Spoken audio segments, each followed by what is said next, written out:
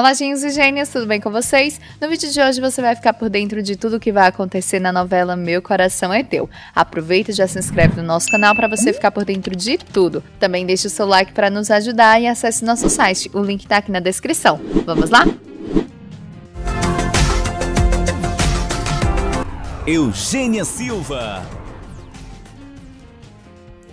No capítulo 71, segunda-feira, 10 de fevereiro. Manuela avisa Fernando que vai embora da mansão. Leon aproveita que está com Fernando para pedir-lhe um empréstimo para pagar suas dívidas. Fernando empresta o dinheiro sem duvidar. Edith comenta com Fanny que Leni mudou radicalmente. Alicia recebe um convite de um amigo cibernético. Briana a diz que ela precisa aceitar o convite porque o amigo é maravilhoso.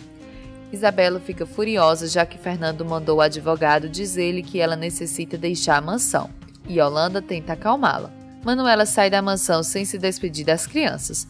Bruno tenta convencê-la a não ir, mas ela está irredutível. Todos ficam muito tristes. Henrique oferece novamente a vice-presidência a Isabela. Edith mostra interesse por Nando e Fanny caçoa dela. Diego vai ver Nicolas no hospital e o diz que não quer falar de Fernando e Ana porque este assunto já o causou um infarto. Nicolas diz a Diego que o infarto foi por não cuidar-se e que ama o filho e não quer perdê-lo compram pizza para o jantar das crianças e Fernando aproveita para informá-los que Manuela foi embora, que ele se despediu da empresa e que Isabela vai embora da mansão amanhã. Nando fala com a mãe de Helena sobre a decisão de mandá-la para fora do país e eles entram em acordo que isso será o melhor para Helena.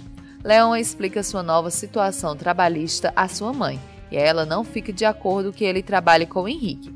Leon segue tentando reconquistar Fanny.